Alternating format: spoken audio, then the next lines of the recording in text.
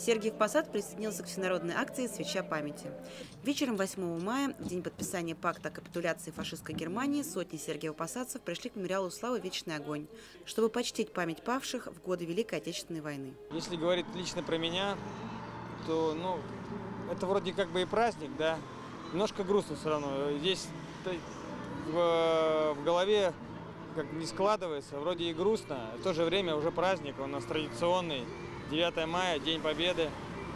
Но э, самое основное – почтить память наших предков, прадедов, дедов, э, чтобы эта память была вечная, чтобы наши дети все поколение помнило это все. Почтить память людей, которые за нас отдали жизнь, за этот день конкретно, допустим, даже, потому что мирное небо это достаточно тяжело. Сегодня вся страна э, скорбит о тех героях, да, которые пали за нашу родину, за то, чтобы мы могли жить под мирным небом.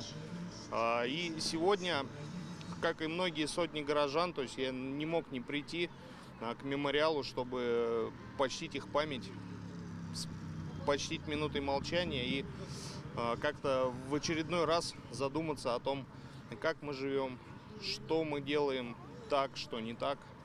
У мемориала звучали стихи и песни военных лет. После знаменитой песни на стихи Расула Гамзатова «Журавли» в памяти погибших в небо взмыло сотни воздушных шаров с символическим изображением журавлей.